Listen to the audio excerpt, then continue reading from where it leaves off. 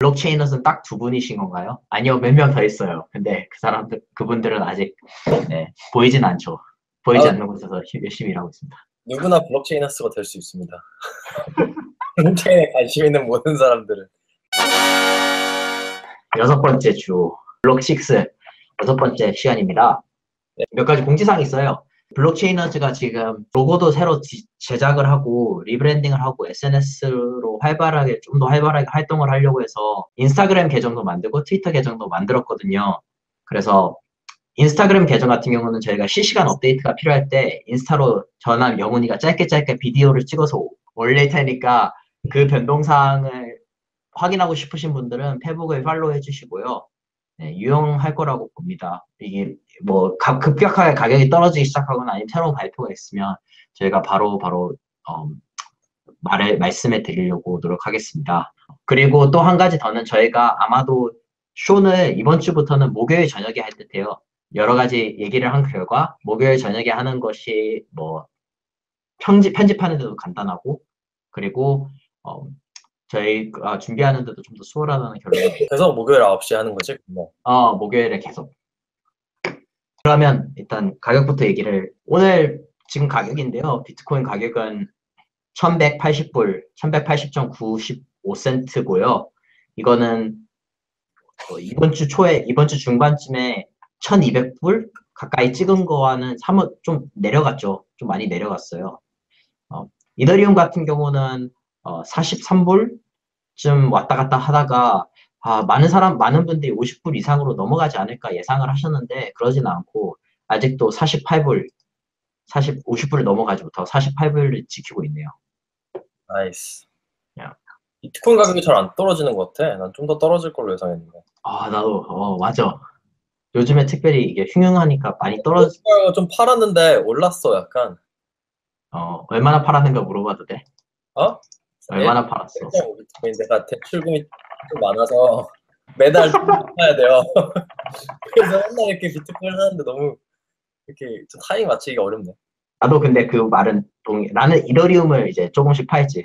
근데 이더리움은 좋은 게 나는 이더리움 만 원어치, 만 원 이하일 때 많이 사놔서 그게 최소한 다섯 배는 올랐잖아.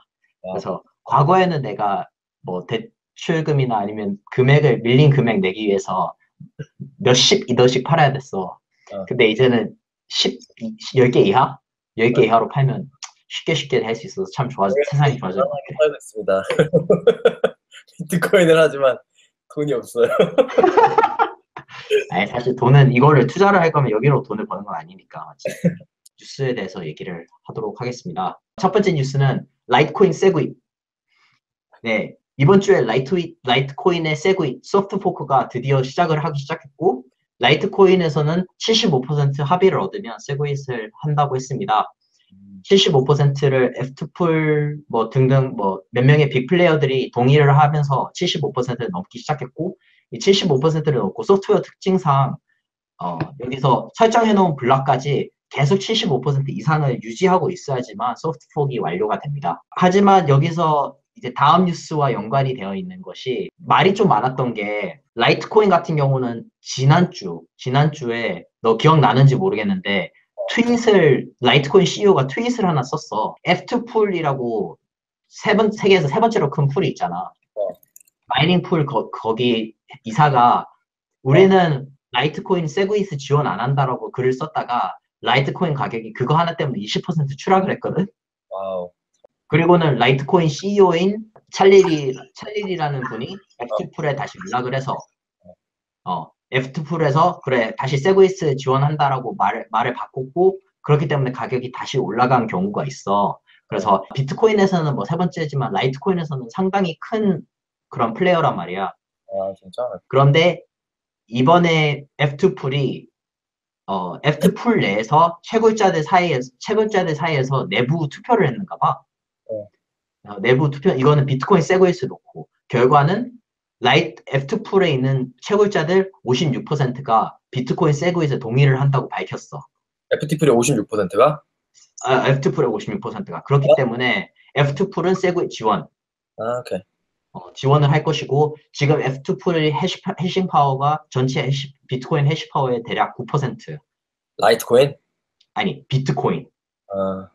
어, 어, F2풀은 비트코인 비트코인 pool도 있고 라이트코인 pool도 있어. 어, 근데 비트코인에 있는 hashing power가 세 번째로 크고 어, 음. 전체 전체 hashing power 중에 세 번째로 크고 근데 그게 비트코인 전체 hashing power의 9%가 됐는데 이 어. 9%가 라이 아, F2풀이 완전 비트코인 SegWit을 지원하면서 비트코인 SegWit 그 찬성도가 투표율이 30% 이상으로 어, 상승하게 됐지.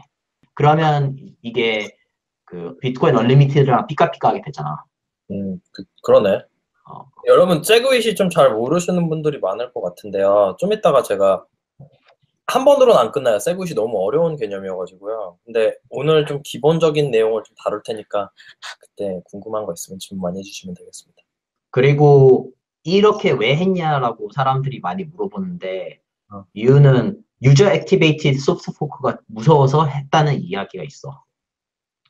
그 pool이 어, 그, 어, 그 pool이. 그러니까 유저 활성화 soft fork가 자기들 F2풀에서는 최악의 시나리오라고 결정을 했고 그렇기 때문에 어, 유저 활성화 soft fork를 하는 바에야 자기들은 아예 soft 아 자기들은 아예 SegWit 자체를 지지하겠다라고 의견을 밝혔대. 약간 재밌다. 약간 게임 이론 같아. 그렇지. 각각의 옵션들이 각각의 플레이어들마다 각각의 옵션들이 있는데 얘네가 어떤 거 선택하고 얘네가 어떤 거 선택하고 이런 게 있어가지고 진짜 게임 이론 같네요. 음.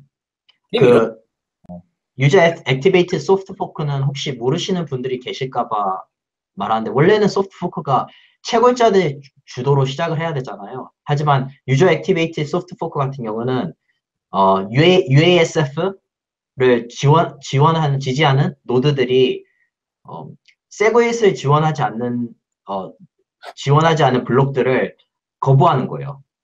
그러면 거부하기 시- 충분한 노드들이 충분한 수의 노드들 그러니까 유저들이 이 블록들을 SegWit 블록이 아닌 거를 거부하기 시작하면 그러면 채굴자들은 좀 강제적으로 SegWit을 soft fork를 하도록 네, 그런 어, 압박을 받습니다. 그게 user activated soft fork예요. 음, 맞아. 그 여러 가지 지금 fork가 여러 가지 의견들이 있는데 정말 각각의 플레이어들이 주장하는 게 다 달라요. 막 예를 들면 지갑 만드는 사람은 또 주장하는 게 있고 채굴하는 사람 주장하는 게 있고 또 이제 직접 쓰는 사용자가 주장하는 게 있고 그래가지고 좀 복잡한데 그래도 나중에 기회가 되면 한 번에 쭉 설명드리면 좋을 것 같아요. Next news. 다음 아. 뉴스는 어, 잭스 웹 지갑이 있어. jax.io, jaxx.io라고 매우 유명한 웹 지갑이고 너도 아마도 어, Let's Talk Bitcoin 팟캐스트에서 걔네가 정말 자주 광고를 때리거든. 아 진짜? 잭스, 잭스.io는 안드로이드에도 있고 맥, 맥에도 있고 뭐 데스크탑 web wallet도 되고 상당히 유용한 유용하고 정말로 단순한 단순하고 사용하기 편리한 그런 웹 지갑인데 어, 잭스 잭스는 다양한 화폐를 지원한단 말이야. 그래서 같은 지갑이지만 이 지갑에 비트코인 주소, 이더리움 주소, 이더리움 클래식 주소, 대시 주소, 도지코인 주소, 뭐 라이트코인 주소 등등등 다양한 화폐들이 있는데 어? 다양한 화폐를 다 거래할 수 있는 거야? 거래가 아니라 이렇게 저장할 수 있는 거야? 맞아. 다양한 화폐를 하나의 지갑으로 저장할 수 있는 거야. 음, 편하네. 어, 진짜 편해. 그리고 이 지갑들을 어, 액세스하는 방법, 이 지갑들을 이 지갑의 보안 같은 경우는 그 12개 단어의 그뭐 패스코드 라고 단어 12개를 이렇게 이어놓은 그런 게 있는데 그거를 이제 종이에 적어놓고 내가 가지고 있으면 보안은 유지가 되는 거야. 야 그런 거지. 비둘기, 당나귀, 막 아인슈타인 막 이런 단어들. 어, 맞아, 맞아, 맞아. 그런 단어 12개 있는 거야. 쭉. 다시 돌아가서 얘기하자면, 어, 잭스. 잭스에서, 그러니까 새로운, 새로운 화폐가 핫해지면 검토와 이제 절차를 통해서 이거를 잭스 지갑에 등록을 하게 되는데, 과거 같은 경우에는 대시를 잭스 지갑에 등록을 했다가 애플 앱, 애플, 아, 어, 뭐라 하지? 애플 스토어에서 잭스 지갑을 어, 여기 등록하지 못한다라고 막은 적이 있어. 아, 이유가 뭐야? 어, 자기들이 봤을 때는 대시는 보안상의 위험이 있다는 거지. 그래서 우리 애플 스토어는 보안상의 위험이 있는 화폐를 우리 유저들이 사용할 수, 우리 유저들이 우리 기계로 기기로 사용할 수 있도록 하지 못하겠다라는 입장을 밝힌 거지. 음, 과거에는 그랬는데 이번 주에는 음. 지캐시, 지캐시가 잭스 지갑에서 지원이 되기 시작했고 iOS 대한 뭐 아 그러니까 애플 스토어가 이것에 관해서는 태클을 안 걸었다는 점. 음. 그러니까 이제는 애플에서도 앱을 다운받아가지고 그걸로 지캐시를 저장하고 뭐 송금하고 할 수 있다는 거지 지캐시를. 애플에서 잭스 지갑을 다운받아서 지캐시를 송금할 수 있다. 어, 그치. 뭐 다양한 방법도 있는데 맞아. 사실 잭스 지갑에서 가장 유용한 점, 아 잭스 지갑이 화폐들한테 가장 좋은 점은 예를 들어서 지캐시 지갑, iOS를 위한 지캐시 지갑이 따로 있지는 않잖아. 어. 근데 잭스를 통해서나마 지캐시를 주고받고 할 수 있으니까 새로, 새로운 방법이 하나 생긴 거지. 자, 네 번째 뉴스. 네 번째 뉴스는 약간 뭐, 렌, 뭐 되게 엉뚱한 뉴스처럼 들릴 수도 있는데 너 혹시 아마존 에코가 뭔지 알아? 어, 그거 AI 비서잖아. 어, 잘 아네. 아네. 그, 하잖아? 누구나? 아닌가? 엄청 많, 엄청 많이 거. 어, 이런 물통처럼 생긴 거잖아. 우리나라도 이제 그런 거 나오기 시작하잖아. IoT 가지고 비서, 비서 쓰기 위해서. 뭐, KT에서 만들어, 만들어 그 새로운 비서 있잖아. 거기에 그 알렉사, 아마존 알렉사에서 여러 가지 기능이 프로그램이 되어 있어. 어. 어, 예를 들어서, 예를 들자면 내가 집에 돌아와서, 음, 알렉사, 내가, 어, 에코가 기기 이름이고 알렉사가 비서인데, 알렉사, 내가 어제 들었던 음악 틀어줘 이러면 알렉사가 그런 음악을 틀잖아. 그런 이런 기능이 몇 개 있다. 알렉사 오늘 날씨 어때? 물어보고 날씨 말해주고. 그런데 새로 추가된 기능 중에서 이거 인터넷에 찾으면 나와. 유튜브에 뭐냐? 알렉사 이더리움 가격 말해줘. 하면 알렉사가 말해줘. 아, 진짜? 진짜 아, 재밌네. 약간. 비트코인 가격은 기존에 있었는데 아, 이더리움 가격 말해줘. 라면 알렉사가 실시간으로 이더리움 가격 말해주는 건 완전히 새로운 기능. 어, 그냥 뭐, 그치. 당연히 나오는 기능 아니야? 그지? 비트코인 나왔으면. 당연히 이더리움 나오겠지. 예, 그래도 이더리움이 그만큼 사람들한테 인정을 받고 아마존도 이- 이더리움 인지하고 있다는 거니까. 아, 그치. 그치. 어. 이번 주에 도입을 한 거야, 그거를? 어, 이번 주에 그 기능이 아, 근데 그게 내가 봤, 내가 알기로는, 그러니까 에코는 플랫폼이고, 개발자들이 누구나 그 플랫폼 위에다가 AI를, AI든지 뭐든지 사용해가지고 앱을 만들 수 있다고 들었다? 음, 그러니까 아마존이 직접 한 게 아니라 그냥 이더리움에 관심 있는 사람이 아마존 에코에서 사용되는 그 이더리움 가격 알람 프로그램을 만든 거 아니야? 아, 오케이. 어, 그럴 수도 있겠다. 어. 나도 이거 그냥 떠도는 동영상 하나 본 거여서. 얘는 일단 아마존 에코는 플랫폼이기 때문에 그냥 거기다가 이제 앱스토어 같이 파- 사람들이 그냥 만드는 거지 그 위에서. 다음 뉴스는 이더리움 다오 smart contract 스마트 계약서 환불. 어, 아. 작년 이맘때 아 이제 이제부터 한, 사- 한 9개월 전이구나. 9개월 전에 이더리움 다오 해킹 사건이 있었지. 어. 그리고 해킹을 하고 난 뒤에 hard fork를 했잖아. 어. hard fork를 하면서 이더리움 클래식, 이더리움으로 나뉘게 되고 중요한 거는 그게 그 두 가지 그 두 개 체인이 나눴을 때 그 당시의 상황을 좀 설명을 하자면 뭐 하- 소프트 포크를 하는 하자는 의견도 있었고 하드 포크를 하자는 의견도 있었고 또 그 다오 해커가 빼간 돈을 역 해킹을 하는 집단도 있었어. 대박. 어, 그러니까 다오의 다오의 그 뭐 돈에서 어떤 해커가 여- 다른 컨트랙을 다른 지갑으로 이렇게 빼갔는데 이 지갑에 있는 돈을 또 다시 또 다른 데로 빼간 거야. 어, 계속 해킹했구나. 음, 계속 이런 식으로 해킹이 해킹이 왔다 갔다 하고 있었는데, 그러니까 하드포크 전이지. 음, 어쨌든 그렇게 해서 이제 이더리움 측에서 다오 다오 스마트 계약서 해킹에 의한 환불을 해주기 위해서 스마트 계약서 지갑이 있단 말이야. 근데 그 지갑에 있는 돈을 아직도 안 찾아가신 분들이 상당히 있으시대. 정확히 말하자면 이더리움 클래식 같은 경우는 150만 이더리움 클래식이 아직 주인을 못 찾고 있어. 아, 진짜? 어, 음, 그걸- 150, 150만 이더리움 클래식은 우리나라 돈, 아, 그, 달러로 하면 대충 400만 달러. 45억 정도 되네. 어, 많지. 그게 약간 복권 당첨하고 안 찾아가는 거랑 비슷한가? 아니야, 그게, 아- 그게 아니고, 분명히, 아, 그러니까 이게 이더리움에 사람들이 돈을 넣어, 투자를 해놓고서는 이더리움을, 가, 내가 이더리움을 가지고 있기 때문에 난 투표권도 있고, 나는 내 돈을 찾아가는 권리도 있는데 사람들이 찾아가는 방법을 모르거나 아니면 그냥 까먹고 그냥 묻어둔 것 같아. 아, 그래? 어, 돈은 투자를 했는데 내가 돈을 투자했으면 여기서 100%내 걸로 만들어야 돼. 그런 생각을 별로 안, 하, 안 하시는데. 또 이더리움 클래식이 그런 경우고, 어, 이더리움 같은 경우는 어, 지금 어, 어, 그러니까 45만 아, 아 네, 이거 뭐 얼마냐? 100, 100, 아, 시- 어, 이더리움 같은 경우도 대충 어, 2100만 불, 2100만 불 어치의 이더리움이 아직 주인을 못 찾고 있다. 다오 해킹 이후. 2,100만 불. 어, 사람들이 와서 그냥 아 나 이거 가지고 있었고 내 내가 이 화폐를 가지고 있었고 이 화폐 같은 경우 어, 뭐 스마트 컨트랙이니까 내가 가지 내가 주인이었고 내 거 내 화폐를 정당 내 화폐를 해킹당했다라고 충분히 뭐 증거로 지- 제출할 수 있잖아. 음. 근데 왜 안 찾아가신지 잘 모르겠어. 특별히 가격이 점프했는데. 아니 내가 봤을 때 포크가 일어나면 사람들이 그러니까 잘 모르지 어떻게 찾아가는지 잘 모르고 음, 그러니까 그렇지 않을까? 어 그럴 수도 있겠다. 그래서 이제 많은 사람들이 요즘에도 걱정하는 게 여러분들 이제 하드포크 얘기가 많이 나오고 있는데 비트코인에서도 하드포크가 되면 이런 경우가 정말 많이 생겨요. 자기가 한 몇백만 원이 있는데 자기가 그 돈을 갖고 있는지 모르는 거예요. 그걸 어떻게 찾았는지 모르는 모르기 때문에 못 찾는 경우가 진짜 많거든요. 왜냐면 기술을 잘 아시는 분은 상관없는데 잘 모르시거나 그 절차를 잘 모르시면 그냥 어 그냥 있는 그대로 받아들이니까 못 찾는 경우도 있지. 꽤 많을 것 같은데 때. 근데 우리가 항상 얘기하는 거 있잖아.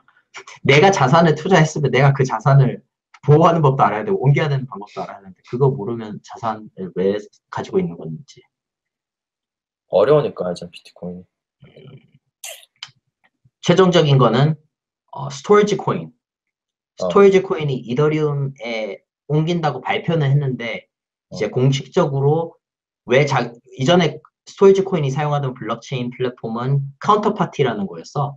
비트코인 위에 있는 카운터파티라는 layer 2 플랫폼이었는데 카운터파티에서 이더리움 블록체인으로 왜 옮기는지, 카운터파티의 장단점이 무엇이고 이더리움으로 옮기게 된 옮기기로 결정한 결, 어, 옮기기로 결정하게 된 이유가 무엇인지를 공식적으로 스토리지 블로그에서 밝혔어.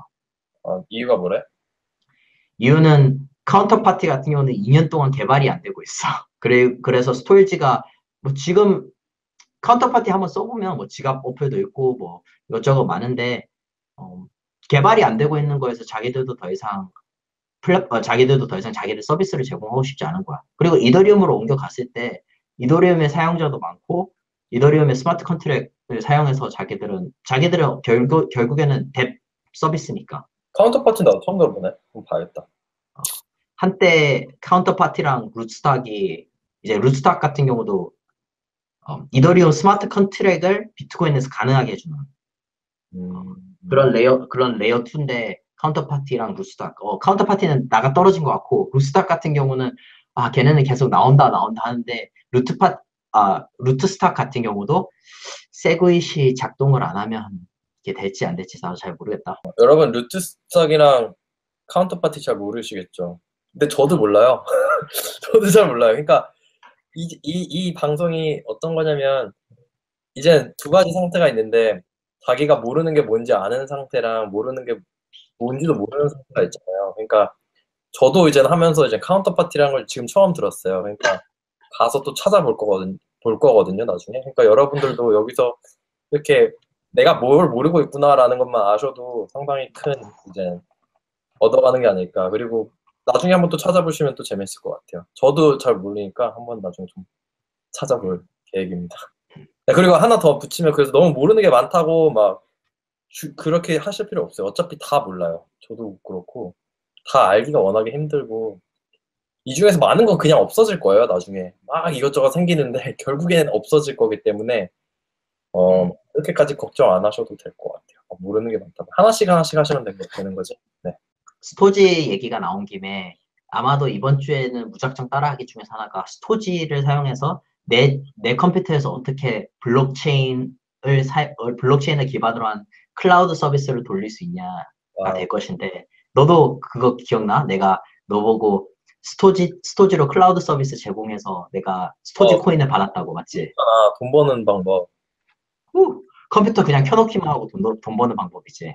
어, 여러분 이게 컴퓨터를 켜놓기만 하면 돈 버는 방법이에요. 나중에 이제 시윤이 형이 소개를 시켜줄 텐데 기본적으로 얘기를 하면은 자기의 남는 디스크 공간이 있잖아요. 그러니까 제 컴퓨터에 1테라가 들어가는데 내가 한 200 기가만 쓰고 있어요. 그럼 나머지 800기가 남잖아요. 그거를 딴 사람들한테 빌려주고 그 빌려준 시간 동안 자기가 돈을 받는 거예요.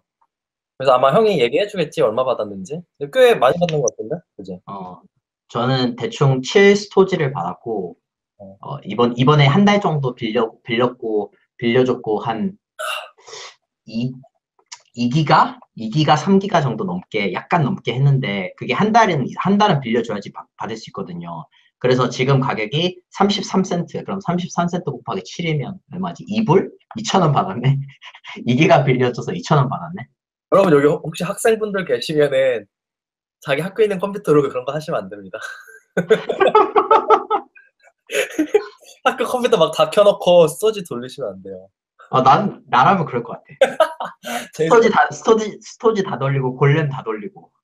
친구 컴퓨터에 몰래 이렇게 Storj 설치하시고 컴맹인 친구 있잖아요. 그런 사람 친구 거에다가 몰래 Storj 설치하시고 이러시면 안 됩니다. 야 들은 바로는 옛날에 비트코인 초창기에 어떤 애- 어떤 친구는 학교의 컴퓨터로 마이닝 했다는데. 친구 엄청 많아. 비트코인 채굴 한 채굴 하는 사람들 채굴하다 쫓겨났잖아. 그러니까 외국 외국에 있었던데 외국에서 학교에서 엄청 이제 채굴을 하게 되면 전기를 진짜 많이 먹거든요. 근데 학교 전기가 공짜니까 그걸로 채굴기 막 돌리다가 퇴학당한 학생도 많아요.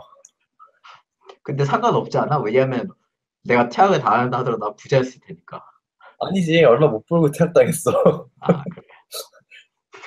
나는 또뭐 로저 베어 아저씨 같이 뭐 몇천 몇몇몇 몇백만 비트코인 채굴하고 쫓- 쫓겨난 줄 알았지. 아, 네. 이만 이렇게 이 금주 블록체인 뉴스였습니다.